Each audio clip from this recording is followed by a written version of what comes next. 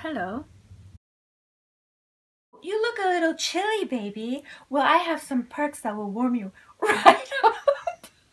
And I made them with my own two little hands, just for you. So what kind of perks? Crocheted hat? A knitted scarf? Maybe a baby blanket or a shrug or even a poncho.